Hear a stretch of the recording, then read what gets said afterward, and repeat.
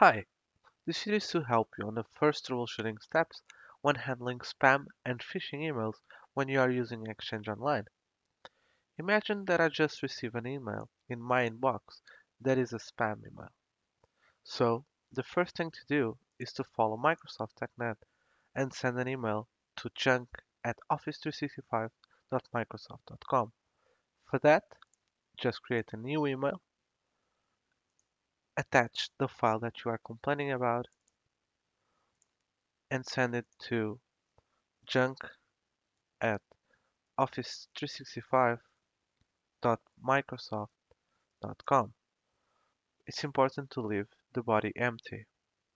However, there are another scenarios as not spam and even phishing emails.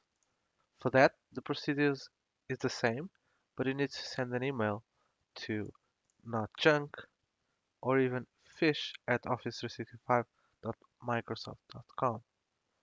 If you are using OWA, you can directly report it as junk or phishing and even not junk or phishing as well.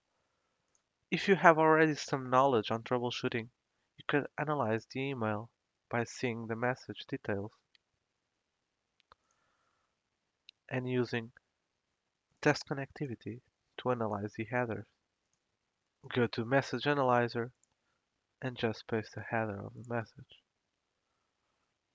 To collect the headers in Outlook, just open the message, go to File, Properties, and here you go. Then the procedure is the same in the test connectivity. For more information, please check here, this TechNet will have all of the details that you need to. And that's it.